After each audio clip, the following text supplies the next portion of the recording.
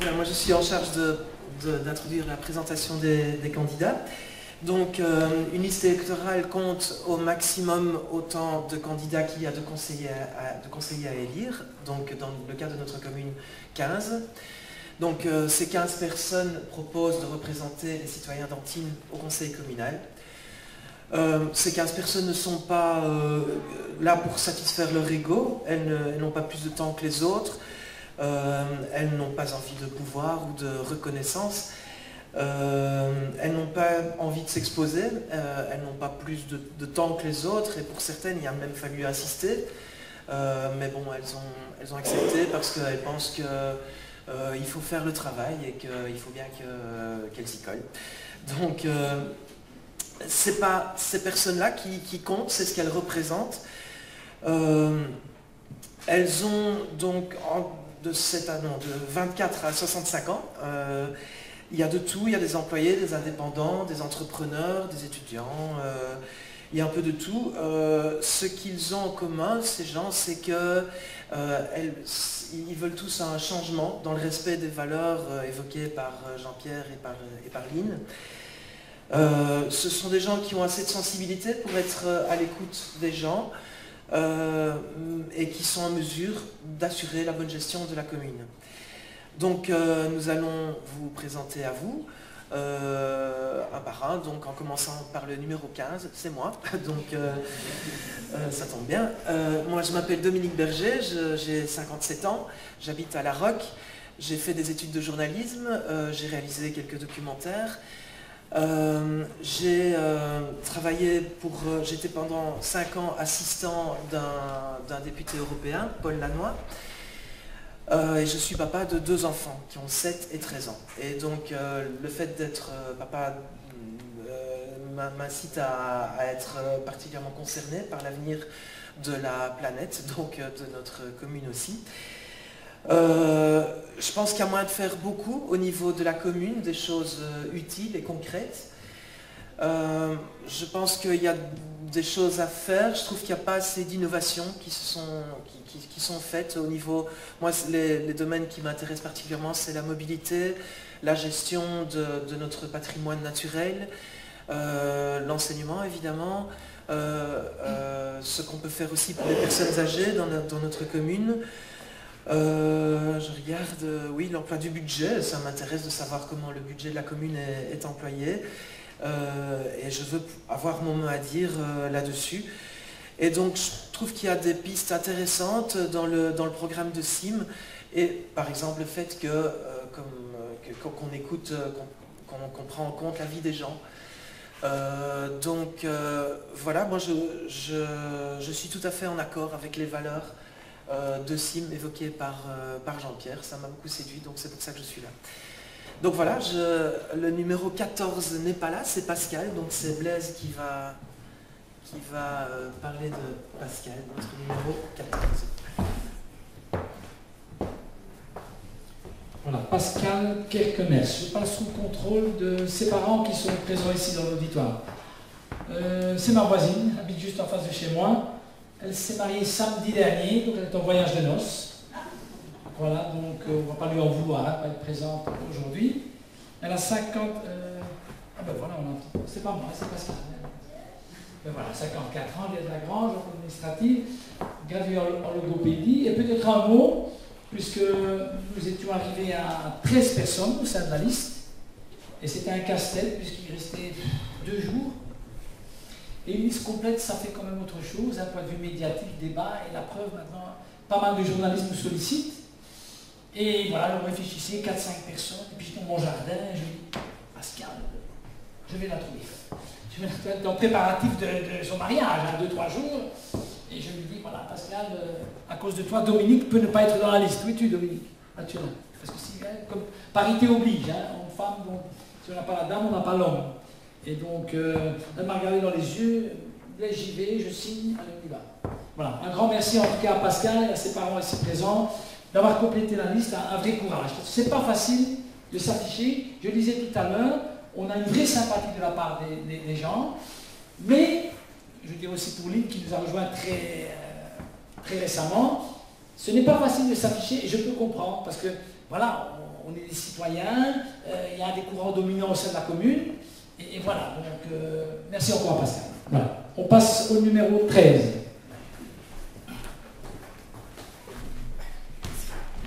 Eh bonsoir, donc voilà, je pense que c'est inscrit là, donc je suis Mohamed, donc je suis éducateur de profession, je travaille ici à Comblain et je vis dans la commune d'Antine depuis 2002. Ayant grandi à Liège, j'ai eu la chance de découvrir cette agréable commune et c'est pour cette raison que j'ai envie de m'y impliquer un peu plus parce que je trouve que le changement doit s'opérer maintenant et pas dans 30 euh, ou 40 ans. Parce qu'à l'heure où on avance, c'est maintenant qu'on doit changer les choses. Donc le changement ne me fait pas peur du tout, parce que ben, voilà, j'ai navigué euh, en eau trouble à Liège, et puis je découvre cette commune et j'ai envie réellement qu'elle bouge. Qu'elle bouge, et je pense qu'elle doit bouger avec vous et avec tous nos citoyens de la commune.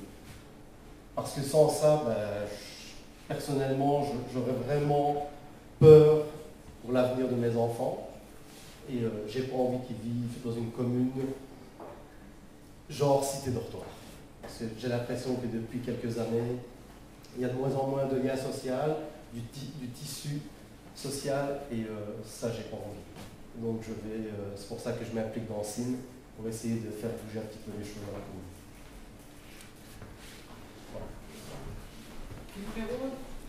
Le 13. Non, le 13. Le 13. Ah, le 12. Forcément, après le 13. Dans le 12, donc c'est Sophie euh, Pierret qui n'est pas là, donc elle m'a donné son, sa présentation. Euh, elle a 27 ans, elle est passionnée de cuisine, elle en a fait son métier. C'est d'ailleurs pour ça qu'elle n'a pas pu être parmi nous ce soir, elle travaille. Elle est installée à Viens depuis peu de temps et a choisi de soutenir SIM car pour elle, l'information aux citoyens a de l'importance. Ce qui lui plaît, c'est que les citoyens puissent participer et donner leur avis sur ce qui se passe dans notre région. Voilà, numéro 11.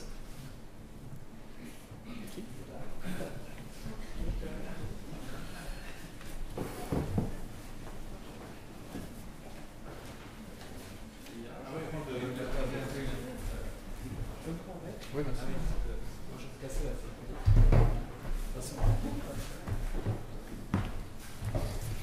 Pour moi, c'est une première. J'ai horreur de me présenter devant un public, mais bon, voilà, il faut le faire. Alors, euh, moi, je m'appelle euh, Nicolas Vandam. J'habite dans la commune depuis 10 euh, ans. C'est une commune très agréable. je suis employé commercial dans une entreprise digitale située à Bruxelles. Alors, pourquoi moi je me présente sur la liste du mouvement citoyen? C'est très simple. Je me suis dit, enfin, un mouvement qui donne la parole aux citoyens c'est quand même des sujets qui sont très importants dans nos vies. Et moi, je me suis dit, il est temps d'y participer à une vraie démocratie. Moi, je me suis dit, on a quand même hérité des leçons du passé, qui est une très bonne chose. Et je pense qu'on doit continuer à s'investir pour nos futures générations. Voilà. Ben, je vous remercie euh, pour votre écoute et je vous souhaite une très bonne soirée.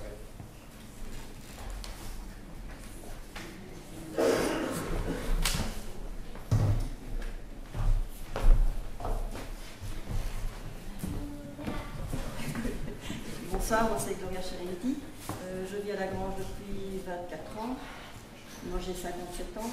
Je suis la maman d'une fille et grand-mère de deux adorables petites filles. Et c'est pour ça que je suis candidate parce que justement on pense à l'avenir. Et moi je suis certaine que les choses peuvent changer si ensemble on fait quelque chose. Si on est tout seul, si on reste ensemble dans son coin sans pouvoir. Euh, on se dit qu'on ne sait rien faire C'est pour ça que je suis dans la liste et je suis sûre que de cette, façon-là, on peut faire changer les choses.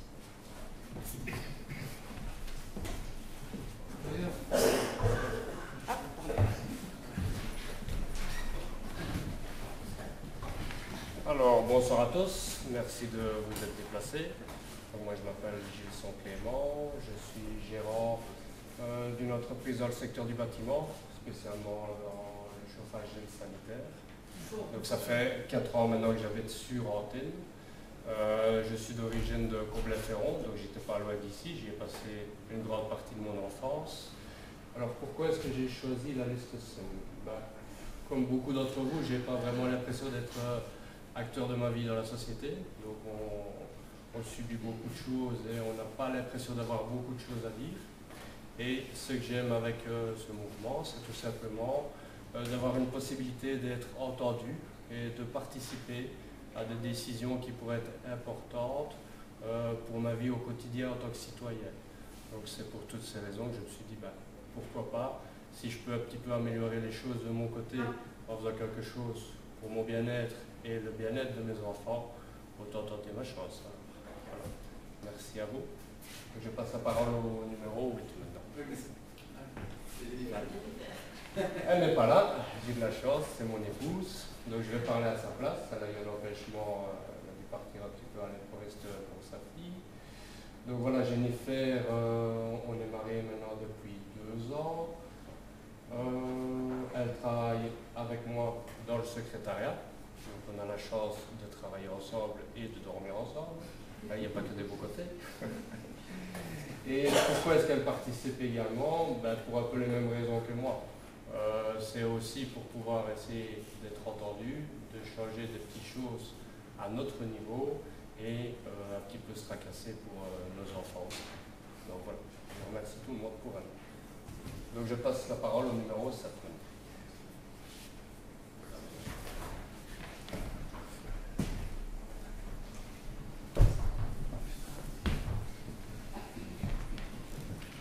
Mais voilà, je n'avais pas encore eu l'occasion de me présenter. Donc Jean-Pierre Ransonnet, j'ai 65 ans. Donc je suis retraité depuis, depuis quelques mois. Euh, j'avais, après une carrière complète un petit peu dans l'informatique, en, tant que chef de projet et consultant pour la mise en place de, logiciels, des logiciels de gestion pour entreprise. Alors, euh, depuis que je, suis arrivé en Tine, ici, à, peu près il y a 14 ans, alors j'ai trouvé cette commune extrêmement agréable, je suis devenu un petit peu tout à fait amoureux, parce que que ce soit la nature qui nous entoure, que ce soit alors aussi les gens, que j'ai trouvé tout de suite euh, avec une grande convivialité, tout le monde se dit un petit peu bonjour, malgré tout dans la commune. Je trouve qu'il y a beaucoup d'associations, qui ont, qui ont quand même de, qui a, quand même de la vie. Donc on n'est pas dans une cité vraiment trop, trop perdue et rurale, euh, on est dans une, dans une dans une ville qui vit. Donc, et à ce moment-là, quand on a démarré euh, les Antilles en transition, donc le mouvement de transition, donc je me suis appliqué là-bas, entre autres bah, dans, dans, le groupement d'achat collectif, dans le dans le potager collectif que j'ai animé pendant, pendant trois ans. Et puis alors on a, euh, en association avec le CPS, on a tout démarré le, le, Repair Café il y a deux ans. Euh, et je m'applique également dans, la monnaie citoyenne, donc qui est le, valeureux que l'on a lancé l'année dernière sur l'ensemble de, lourdes Alors, en dehors de ça, ben, j'ai deux filles, j'ai trois petits-enfants. Et je suis ici amoureux de la nature, j'adore la lecture, je suis toujours curieux un petit peu de nature. Donc euh, j'aime lire, je fais un petit peu de la musique. Donc euh, voilà. Et alors je suis, je suis marié à, à, qui est ici en face de nous, et qui, est, qui, fait de la cuisine, qui est dans la restauration ce qui est son métier. Donc j'ai la chance de pouvoir manger sainement et délicieux. Voilà un petit peu les grandes lignes. Euh, je passe la parole au numéro 6.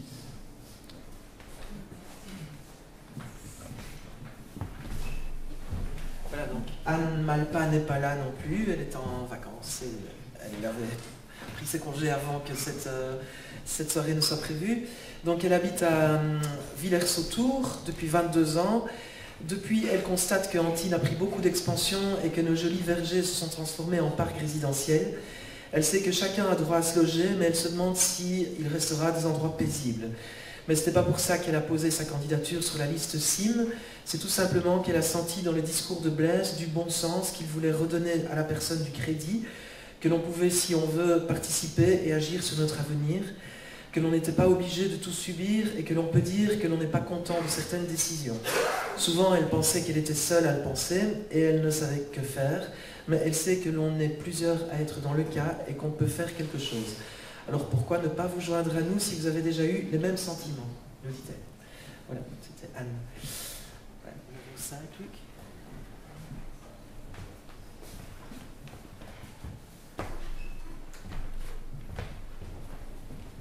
Bonsoir. Euh, je m'appelle Luc. Donc je suis en d'adoption depuis quelques mois. Et bon, je vais vous faire une confidence. Euh, je n'ai jamais voté dans ma vie. Pour vous dire que la vie politique telle que l'expérience politique telle qu'elle nous est présentée, pour moi, ne fait pas sens. La politique est intéressante si on peut y participer, si on a son mot à dire. Si on n'a rien à dire, eh je pense que, vu qu'on n'a rien à dire, pourquoi aller voter? Donc je n'ai jamais voté parce que je n'étais pas dans les conditions non plus de devoir voter, mais ça ne m'intéressait pas. Et précisément ce que, ce que m'apporte Sim, et je dis merci vraiment à cette occurrence, c'est de pouvoir participer à une gestion de moi par la cité et de la cité par moi. Donc euh, voilà, donc je ne sais même pas comment on vote, mais je vais faire l'expérience. Parce que je trouve que c'est. Enfin, c'est quand même fondamental de se dire que si on, vote, on doit participer à quelque chose. Sinon, on délègue quoi? On, vote un chèque en blanc. Donc, euh, moi, ça ne m'intéresse pas, ça. Donc, j'espère que. Attention, ce que je voulais dire aussi, c'est que je veux, dire un grand merci parce que l'accueil qu'on a reçu auprès des habitants, c'était vraiment euh, encourageant. Voilà. Merci.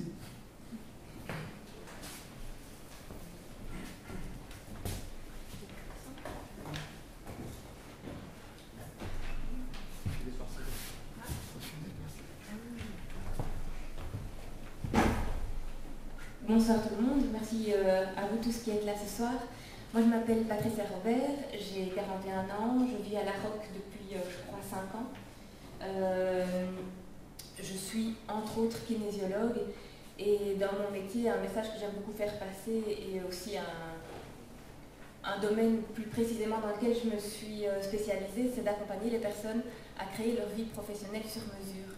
Et si je dis ça, c'est parce que pour moi c'est essentiel que chaque personne euh, se réapproprie pleinement son pouvoir de création, puisque je suis convaincue que nous avons tous à 100% euh, le pouvoir de créer notre vie. Et euh, du coup, dans cette logique-là, quand, quand Blaise et Luc se sont présentés à ma porte, au départ, on parle de politique, j'écoute poliment et c'est tout. Et puis quand même, à force de les entendre parler, je me suis dit que que rejoindre le, mouvement était pour moi une évidence dans cette idée de, par rapport à mon propre pouvoir de création, euh, lui donner une autre dimension, donc une dimension communale et surtout collective. Voilà, merci.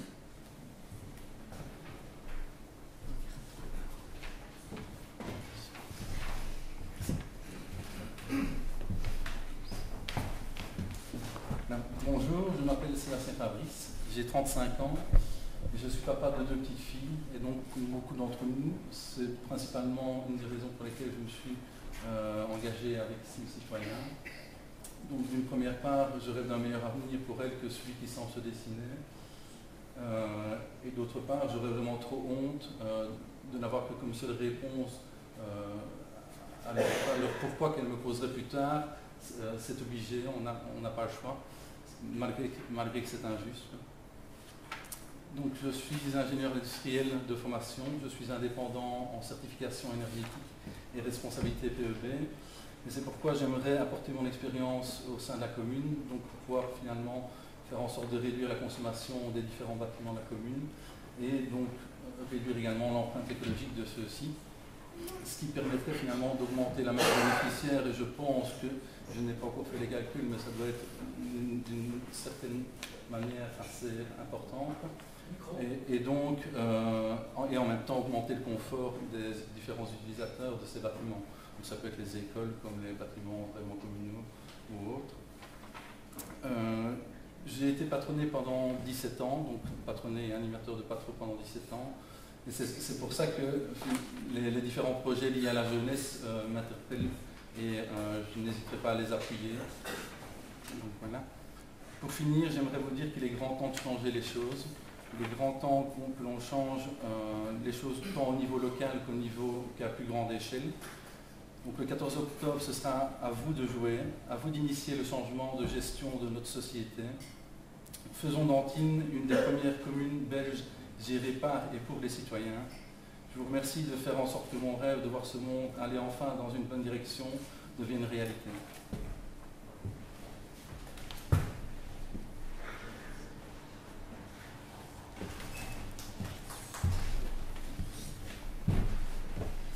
Donc, euh, rebonsoir. Euh, c'est Lynn Jadot, j'ai 23 ans et je vis à Audi depuis euh, presque 20 ans. Avant, donc, on vivait à Villers-Autour, donc j'ai toujours connu la, commune d'Antine. je suis diplômée en droit depuis ce matin de l'Université de Liège et j'ai entamé...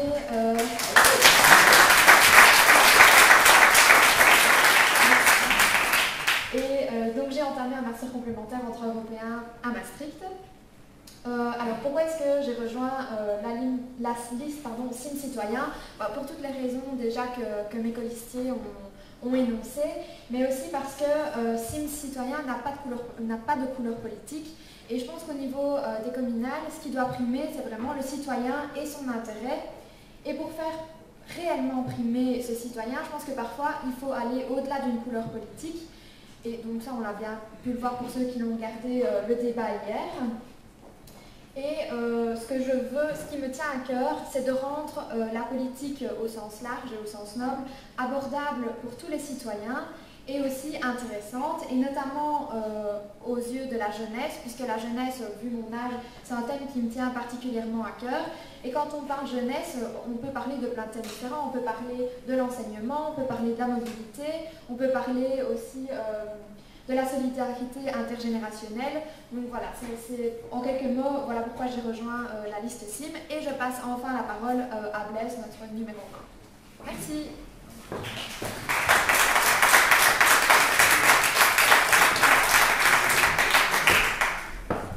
Oui, c'est pour ça qu'on a engagé Lynn, c'était en fonction de son résultat d'aujourd'hui. Elle nous avait dit qu'elle avait réussi, mais on voulait avoir l'épreuve. Juste deux, trois mots, hein, pas être trop long. Je me suis présenté, je ne vais pas le refaire une deuxième fois. Euh, deux, trois petits points peut-être par rapport aux axes du programme. Comme Landine l'a bien expliqué, euh, je vais simplement insister sur ce fait. Euh, il n'y a pas de liste de programme exhaustif. Ce sont des axes, des orientations. Je dois encore finaliser un écrit sur l'économie locale. Bon, je pourrais dire quelques mots, mais je préfère le faire plus tard s'il une question ou l'autre dans, la discussion, dans le débat, mais l'économie locale est bien sûr très très importante. L'économie, la structure économique sous-tend nos sociétés. On ne peut pas concevoir euh, d'être des souverains démocrates et ne pas avoir une souveraineté, un, notre mot à dire sur l'économie. je, peux développer s'il y a une question ou l'autre, mais c'est bien entendu un axe essentiel. Et donc les sept points développés par Lynn, c'est à titre euh, vraiment d'axe, mais il y en aurait, aurait mille autres. Puisque si on veut s'approprier une société, il n'y a pas 7, 8, 9, 10 axes, il y a tous les champs de la société à, travailler comme chantier. Ça c'est la première chose. Alors, peut-être un dernier mot et puis, et puis j'arrêterai. Je rumine quand même depuis plus de 30 ans, et c'est vrai que ce n'est pas évident de se dire, voilà, le politique, etc., on n'a pas notre mot à dire, comme l'a bien dit Luc, etc. Et là, je sens maintenant, dans les mois qui viennent, cette résurgence citoyenne qui commence à s'afficher de plus en plus. J'ai une quinzaine de contacts avec des communes avoisinantes, Splimont, Ewain, Andrin, etc. Je l'ai dit, je pense, tout à l'heure. Et là, après les élections, on veut vraiment faire un mouvement euh, citoyen wallon. Et donc, je, voulais insister sur ce fait qu'il y a vraiment une vraie occurrence, je, le sens en tout cas dans, ma chair, que depuis 25-30 ans, je me dis là, il y, a, quelque chose, il faut travailler, il faut taper dessus maintenant, c'est maintenant que ça se passe. Comme on l'a dit, dans, 5-6 ans, on m'avait dit, oui, mais on sera mieux dans 6 ans. Non, non, on dit souvent il est minuit moins 5, certains disent déjà minuit, minuit 5. C'est maintenant, il y a vraiment quelque chose, d'immédiat comme par hasard, euh, sent bien ça et, nous approche, donc il faut vraiment taper dessus. Voilà. Et sur Antenne, j'en terminerai, si on peut faire histoire locale, parce qu'il y a beaucoup de listes citoyennes, c'est vrai, mais il y a aussi des listes citoyennes avec des politiques derrière, etc. Les journalistes s'intéressent assez fortement à Antine parce qu'on revendique une liste citoyenne plus juste. il n'y a pas de politique. Et donc, ça, on a pas mal d'interviews pour le moment avec des journalistes. Et je me dis, si à Antine, on sait euh, avoir une vraie présence citoyenne et on n'est pas pour critiquer, il y a une, personne que j'admire ici qui est présente, je ne vais pas le citer, mais qui est d'un autre mouvement, mais qui a toute ma sympathie, et plus que cela, on ne veut certainement pas critiquer et taper sur la gestion actuelle. On veut se lever et se dire, voilà, on veut une vraie présence citoyenne. Si on peut avoir quelques sièges, je pense que ça peut être un début d'histoire pour l'histoire communale et pourquoi pas voilà. Je vous remercie à tous. Voilà. Je, maintenant, je, propose, il est 7h30. Nous avons encore un peu de temps. S'il y a des questions, euh, des remarques, elles sont plus que les bienvenues, parce qu'on aime bien aussi avoir le retour des citoyens, puisque on se dit être à l'écoute des citoyens. N'hésitez pas, n'ayez pas peur, une question, une remarque, une critique, tout est bon à prendre. Voilà. Merci à vous.